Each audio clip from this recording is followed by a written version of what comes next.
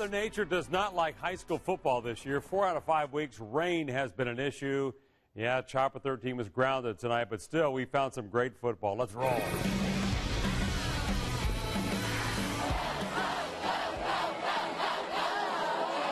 The Fishers Tigers certainly know how to bring that school spirit. They were fired up. Fishers playing without head coach Rick Wimmer. He's on paid leave after an incident with a student during school. The Tigers lighting it up early for a 10-0 lead on Brownsburg. But back come the Bulldogs. Hunter Johnson, perfect pass to Eli Johnson. He's gone, 47 yards. Brownsburg back in it. This little fella didn't care about that game because we had our own game working on the sidelines. Meanwhile, the Bulldogs keep on firing. Bryce Kurtz with a great catch, but he's out of bounds. This game goes to the wire. Brownsburg wins on the road, 14-10.